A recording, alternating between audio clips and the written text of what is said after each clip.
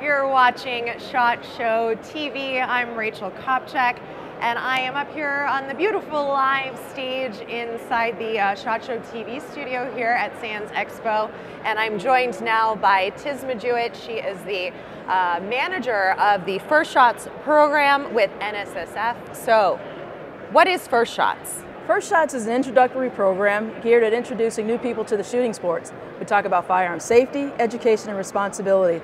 And we do this at local shooting ranges to help introduce people in a safe, fun, and controlled environment. Mm-hmm. And now, if somebody wants to uh, shoot a gun for the first time, what do they need to know?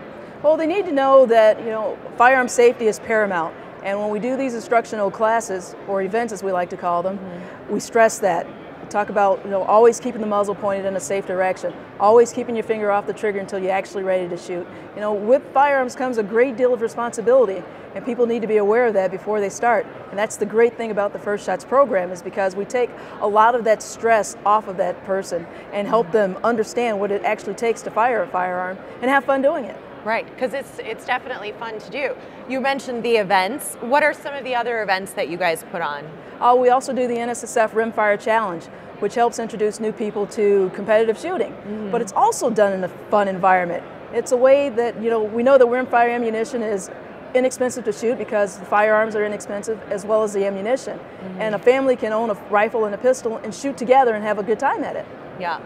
Now, if um, ranges or uh, even stores want to enroll in the First Shots program, maybe not enroll, but get involved and bring the program in, how can they do that? They can go to the website, firstshots.org, mm-hmm. and for Rimfire Challenge, nssf.org slash rimfire. Mm-hmm. And what else can people expect from First Shots? You guys are doing a lot, and it's a really important program, especially in just sort of the environment of the mainstream media that we live in today. Well, it's great because it gets people who have seen a lot of information on the news or heard things in the media about what firearms are and what firearms aren't.